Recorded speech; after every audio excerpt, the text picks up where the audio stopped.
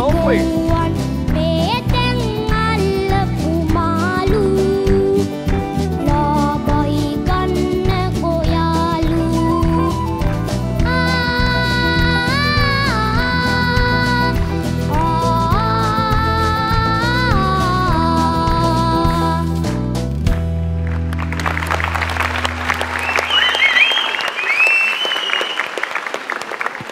හරිම ලස්සන පර්ෆෝමන්ස් එකක් නෙමින් සිත.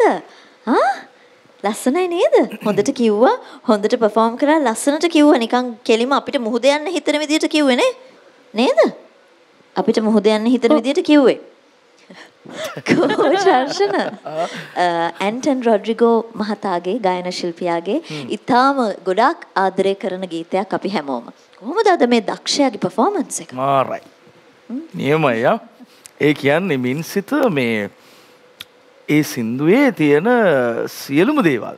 දරුවෙක් හැටියට කිසිම අඩුවක් නැතුව කරා. ඒක ඉතින් ඉතාම අසීරු වැඩක් නේද? ආ මාළුවෙක් දෙනවද මට? ඉන්නවද? කාවද? ඉස්සන්ද මගුරන්ද කවද දෙන්නේ? හැබැයි ප්‍රශ්නේ මේකනේ. මගුරන්. මං ගාව සිලිං තුනක් නැහැ. මොකද කරන්නේ? මොකද කියන්නේ? දෙනවද? මගුරන් තමයි. හ්ම්? ආ පස්සේ අපි ගමුනේ. ආ ඉවර වෙලා ගමු එහෙනම්.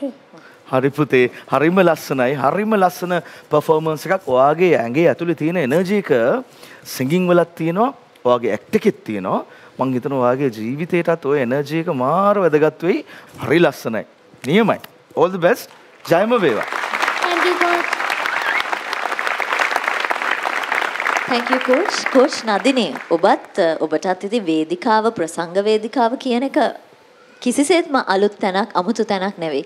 ඉතින් ඒ වගේම තමයි මේ පුංචි වයසට නිකන් අර වැඩිහිටියෙක් වගේ හරිම හුරු පුරුදු ගතියක් දැනුනේ මට නම් මේ වේදිකාවේ මින් සිතගෙන්. මොකද හිතෙන්? ඔව් නටාෂා කිසිම එහෙම අඩු පාඩුවක් තියන්නේ නැතුව මින්සිත මුළු වේදිකාවම පුරවා මං හිතන්නේ හොඳට බිස්නස් කරගත්තනේ. හොඳට මාළු ටික වික්කනේ. මේ ඒ වගේම මේ නටාෂා හොඳ මේ මොඩ් දීවරයෙක්නේ. ආ මට ඔය ඇඳුම හරිම ලස්සනයි. නේද? ඇයි මෙහෙම මුහුදේ ගියොත් ප්‍රශ්නයක් වෙයිද? නෑ පොඩ්ඩක් දැන් මං? හිතන්නේ මොඩර්න් දීවරයෙක්නේ නේ පුතේ. ආ ඔයා කොහොමද විකුණන්න කැමති? මොන විදියට විකුණන්න කැමති? සින්දු කියලා කියනවා. සින්දු කියලාද? සින්දුගේ. කොහොමද ලාභයි ලාභයි කියලා කෑ ගහලා කිය පෙන්නන්න බලන්න. ලාබයි ලාබයි ඉස්ස.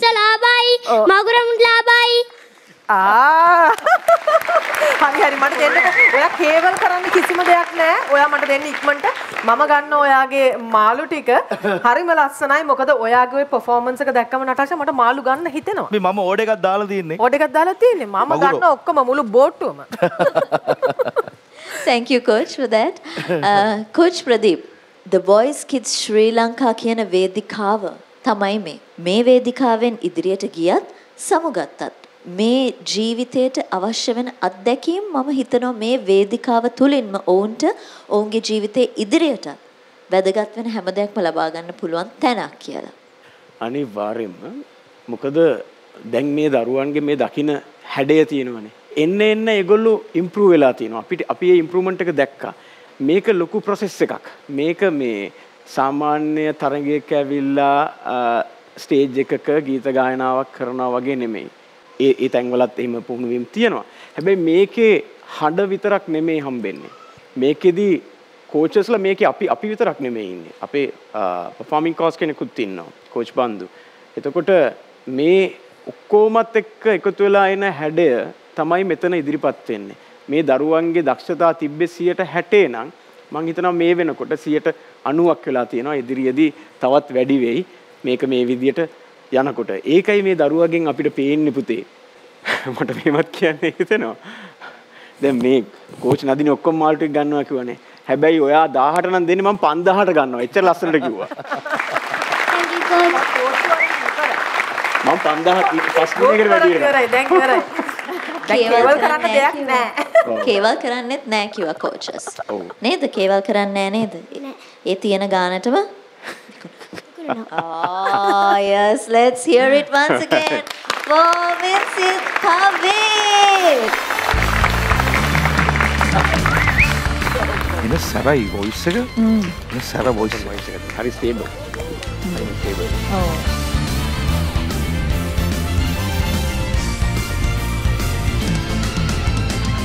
මගේ ටීම් එකේ මේ පෆාමන්ස් එකට ඔයත් කැමති නම් අනිවාර්යෙන්ම මේ වීඩියෝ එකට ලයික් කරන්න කමෙන්ට් කරන්න ෂෙයා කරන්න. මේ වගේ පර්ෆෝමන්ස් දිගටම බලන්න කැමති නම් අමතක නොකර The Voice Kids Sri Lanka YouTube channel එක මේ දැන් subscribe කරන්න.